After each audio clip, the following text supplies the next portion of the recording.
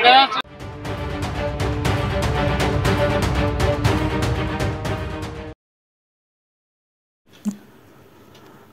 पर पलटा टैंकर और आठ लोगों की हुई दर्दनाक मौत। जयपुर अजमेर हाईवे पर टायर फटने से पलटा टैंकर।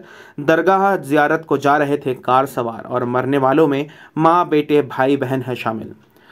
रिपोर्ट है, कालीचरण सैनी राजस्थान से, जहाँ खबर दूदू के रामनगर इलाके में गुरुवार दोपहर करीब साढ़े बारह बजे जयपुर से अजमेर हाईवे पर टायर फटने से एक टैंकर अल्टो पर पलट गया। हादसा इतना भयानक कि कार बुरी तरह से पिचक गई।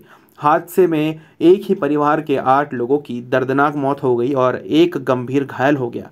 कार सवार लोग अजमेर शरीफ दरगाह जियारत के लिए रवाना थे। एएसआई राजेंद्र सिंह ने बताया कि कार सवार सभी मृतक फाकी के रहने वाले थे। उन्होंने बताया कि टैंकर का टायर फटते ही ड्राइवर बाउंड्री वॉल तोड़ते हुए आल्टो पर पलट गया। इसमें सात की मौके पर ही मौत हो गई। वहीं एक गंभीर घायल एसएमएस हॉस्पिटल जयपुर ले जाते समय दम तोड़ दिया। इस दौरान टैंकर ने एक अन्य मोटरसाइकिल सवार युवक को भी अपनी चपेट में ले लिया था। हादसे में इन लोगों की हुई मृत्यु। इस हादसे में जुम्मा मस्जिद के पास रहने वाले हनीफ परिवार के सात सदस्यों की मौत हो गई। मरने वालों में हनीफ की पत्नी हसीना, पचास वर्ष, बेटा इसराइल, तीस वर्ष, मुराद तेरह वर्ष, बहू फरजाना, सत्ताईस वर्ष, पत्नी इसराइल, पोती रोहिना, आठ वर्ष, पोता सैरान, तीन वर्ष, दामाद शकील और रिश्ते में रहने वाला सोनू, चौदह बरस शामिल है। वहीं इसराइल के बेटे हुमायूं की हालत फ़िलहाल गंभीर बताई जा रही है।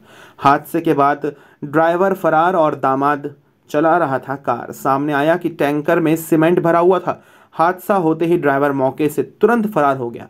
कार को हनीफ का दामाद शकील चला रहा था, जिसे जयपुर एसएमएस अस्पताल ले जाया गया और उसकी रास्ते में मौत हो गई।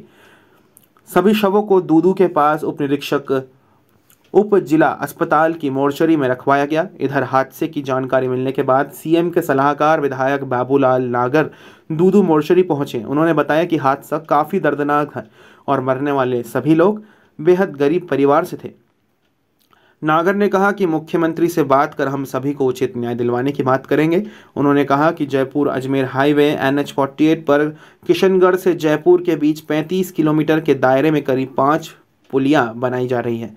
निर्माण कार्य होने की वजह से सड़क में खराब हो रही है और ऐसे में हादसे भी हो रहे हैं। उन्होंने कहा कि हमने प्रशासन और कंस्ट्रक्शन कंपनियों को निर्देश दिए हैं और जल्द ही एक्शन लिया जाएगा। वंदे भारत न्यूज़ की खास खबर। खास